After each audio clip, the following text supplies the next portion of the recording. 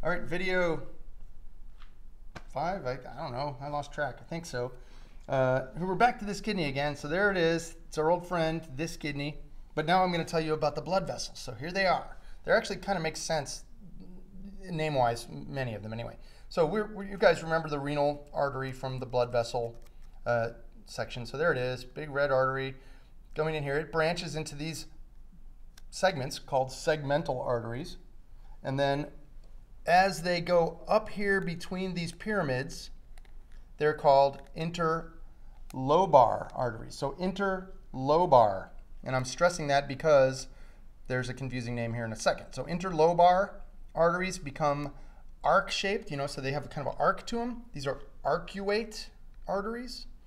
Now these little guys that are radiating out here into the cortex, I learned as cortical radiate arteries, which is a great name. However, your lab book has interlobular, and I've seen this word you know, a bunch of times, so it, this is another name for it. Interlobular arteries, it's hard to say. Interlobar are here, interlobular are here. Then if you look really close, you can see these little branches from them. And we saw this in that previous model. Those are the afferent arterioles. So they are afferent arterioles. They're going to these little uh, you know, Bowman's capsules here. They're going to the corpuscle. Once they enter the corpuscle, they become a ball of capillaries, right? A ball of capillaries called the glomerulus. Then we've seen the peritubular capillaries and the vasa recta as well. Those are uh, interfacing with the um, with the uh, with the uh, nephron. Sorry. Now, one thing we didn't talk about was what happens to the blood that goes into the glomerulus but doesn't get filtered out. So the blood that remains in these uh, capillaries up here of the glomerulus exit right back out through that opening in a vein called the efferent vein. So afferent goes into the glomerulus and all that stuff I talked about before.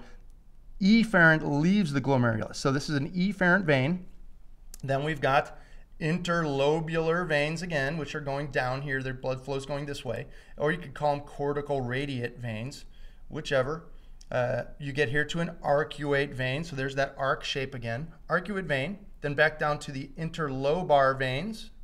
And I've seen it in a lot of sources where they'll actually go straight from interlobar vein to renal vein. But really, these are segmental veins. So you'd go interlobar vein, segmental vein, renal vein, and out. Where do you go next?